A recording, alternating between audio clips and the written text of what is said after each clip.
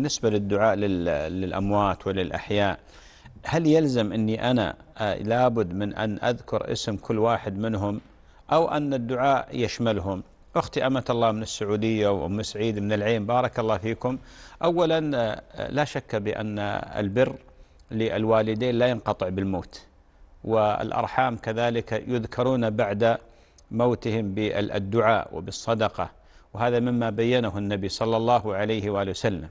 ولذلك مما يؤسف له أن بعض الناس إذا مات له ميت قريب إذا مات له قريب نسيه. وهذا حقيقة يعني ينبغي للإنسان أن يراجع نفسه في هذا وأن يهتم بأمواته من حيث الدعاء لهم والاستغفار لهم والصدقة عنهم. حتى أن النبي عليه الصلاة والسلام آه، يعني أرشد إلى إكرام صديق الوالد وصديقة الوالدة في إشارة إلى أن البر ما ينقطع. بارك الله فيكم. المسألة الثانية بالنسبة للدعاء أختي الفاضلة هناك دعاء عام ودعاء خاص.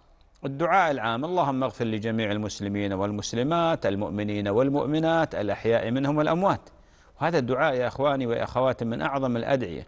لأن إذا قلت اللهم اغفر للمسلمين والمسلمات وكل الله ملكا على رأسك يقول ولك بمثل ذلك ولك بمثل ذلك.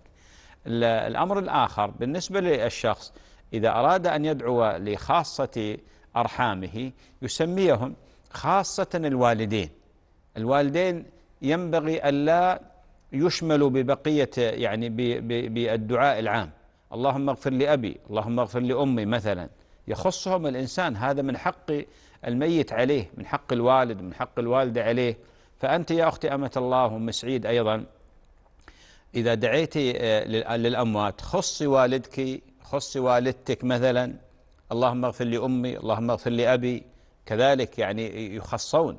حتى في الصلاة في الصلاة يدعو يدعى لهم بخاص لأن هؤلاء لهم حق عظيم على الإنسان.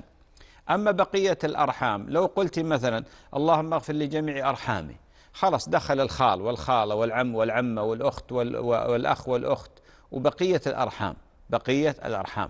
لكن أنا أؤكد على مسألة وهي أن الوالدين لا ينبغي أن يعمهم الإنسان بدعاء عام مع البقية إلا إذا خصهم ثم عم.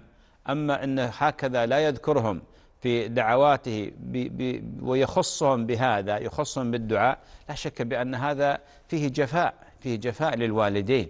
لا يخصون في الصلاة في كل ركعة في كل ركعة. اللهم اغفر لأبي اللهم اغفر لأمي أو الميت منهما مثلا.